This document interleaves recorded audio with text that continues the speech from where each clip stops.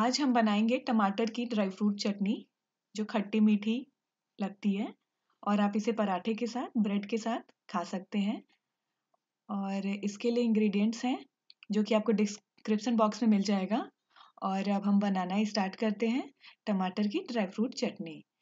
तो इसके लिए फर्स्टली हम एक पैन में ऑयल लेंगे, और फिर उसमें आप सौंप धनिया क्रश धनिया चिली को पैन में हम क्रैकल होने तक पकाएँगे।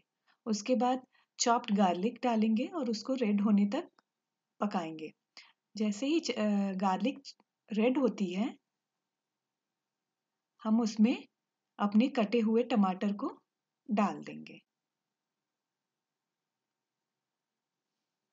कटे हुए टमाटर को डाल देने से टमाटर के साथ में ही हम सॉल्ट भी डाल देंगे। सॉल्ट को डाल देने से टमाटर जल्दी गल जाते हैं और सॉफ्ट हो जाते हैं। टमाटर को सॉल्ट जल्दी पकाने में मदद करता है। अब हम इसे ढककर पकने के लिए रख देंगे। घी डालेंगे अपने ड्राई फ्रूट को रोस्ट करने के लिए। यहाँ पर मैंने काजू, बादाम, किशमिश और गरी का बुरादा लिया है। आप गरी को काट कर भी ले सकते हैं। काजू बादाम को पहले रोस्ट करेंगे, थोड़ा रेड होने तक, उसके बाद में किशमिश और किशमिश और नारियल को डालेंगे, क्योंकि किशमिश और नारियल जल्दी रेड हो जाते हैं और भुन जाते हैं। दूसरी साइड हम पैन में अपने टोमेटो को जो पकने के लिए रखे थे, उसे चेक करेंगे कि वो सॉफ्ट हो गया है। वो सॉफ्ट हो जाएगा, उसे अपने कलछी से थोड़ा चलाएँगे मैश करते हुए चलाएँगे। अब हम उसमें डालेंगे आप उसमें ब्राउन शुगर शुगर भी डाल सकते हैं बट मैंने यहाँ पर जैगरी का इस्तेमाल किया है। मैंने एक छोटी कटोरी जैगरी ली है और उसे हम उसमें मिला देंगे।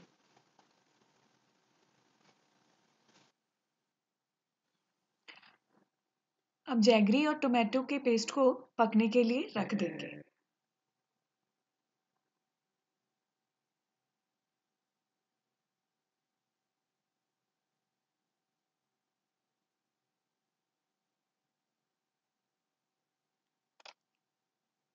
दूसरी साइड पैन में जो हमारे काजू और बादाम पक रहे हैं उसमें हम किशमिश और नारियल को डाल के सौते करेंगे।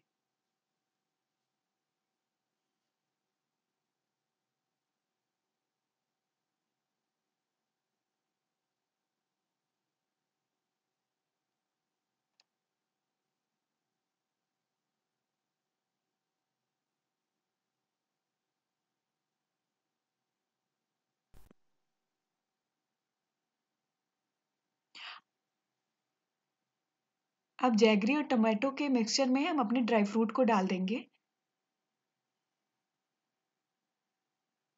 और उसे ढककर अगेन पाँच मिनट के लिए पकाएँगे।